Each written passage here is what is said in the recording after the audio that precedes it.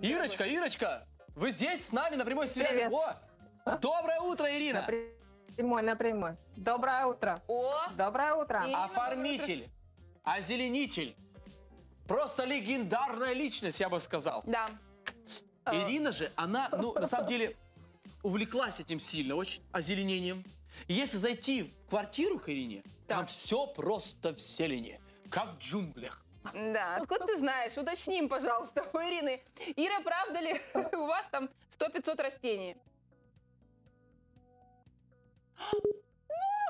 Ну вот и спасибо за ответ. Вот что значит не тот вопрос задала. Валер, ну что ты мне не остановился? Да помолчи уже я сам. Ну давайте, ну давайте так, пока Ирина Лакуста связывается с нами, мы призываем вас позвонить по телефону, что 233 1166. Расскажите, похвастайтесь вы, много ли у вас комнатных растений.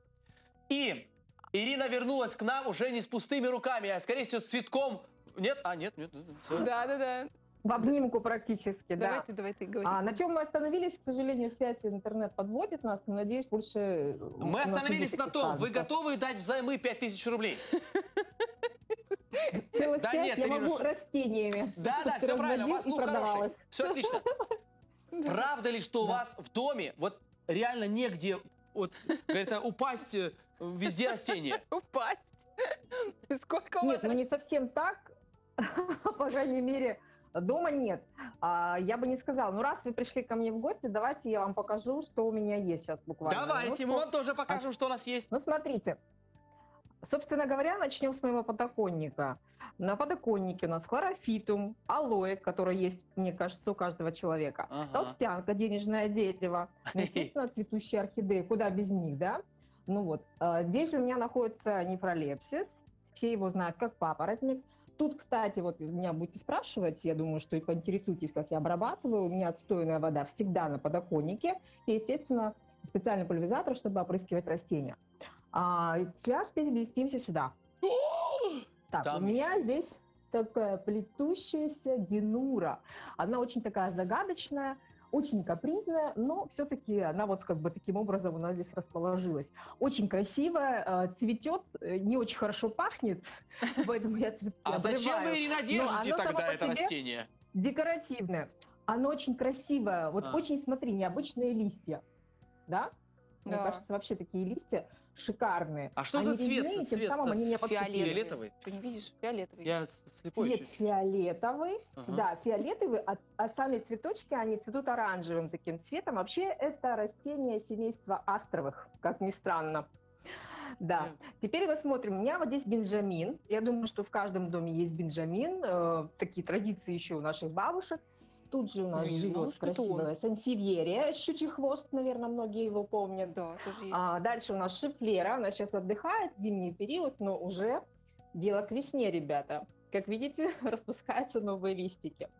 Ну и здесь у нас живет замиокулкас. Почему он в горном одиночестве, Как Ирина? долларовое дерево. Что? Почему он в горном одиночестве Он один от наказан, всех? что ли, там? Как-то он один, да. Нет. А, Просто дело в том, что не все растения любят э, а, жить э, ну, э, в симбиозе с другими растениями. Соответственно, Ну, как и люди. они иногда меняют место жительства. Да, есть интроверты, есть экстраверты, скажем так. Но если честно, да, если честно, просто он там очень хорошо стоит, и мы решили, что, наверное, место ему там будет более уютное.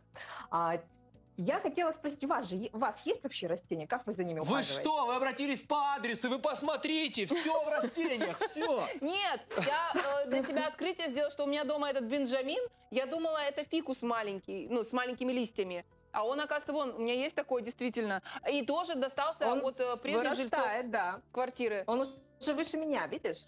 Но здоровенный. Выше меня. Ира, а Ира, подруга мне его подарила вот таким маленьким черенком. Э, Ира, э, как... э, Это, кстати, мы давние подруги с Ирой. Вот, да. Если вы дальние подруги, значит, я Да, тоже ваш давние. друг. Эй. Да, да, да, вот будем дружить втроем. Ира, скажи, пожалуйста, вот я бы с ума сошла с таким количеством растений, значит, у тебя есть хитрушки, какие-то секретики, Мгм. которыми ты можешь поделиться, что ты так все это успешно делаешь.